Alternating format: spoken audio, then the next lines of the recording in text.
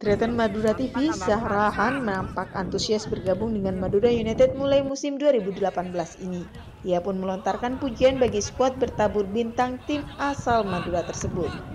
Pujian Syahrahan ini dilontarkannya saat latihan rutin Madura United Rabu sore di Stadion Gelora Bangkalan.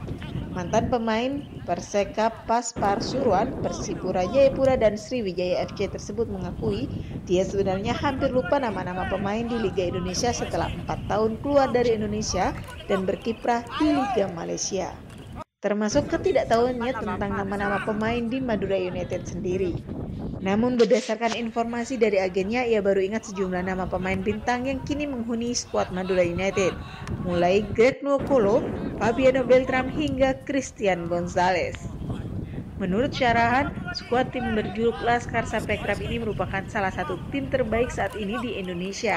Hal ini menjadi modal awal bagi tim juga untuk menjadi yang terbaik di Indonesia nantinya. Sudah keluar dari sini empat tahun, main di luar, saya sudah lupa pemain-pemain Tapi sebelum saya ke sini, ada agen saya bilang sama saya, oh ya, Madura ada tim bagus, ada Greg, ada Gonzalez, ada pemain muda banyak yang bagus. Sarahan berharap ia bisa memberikan yang terbaik bagi tim barunya ini.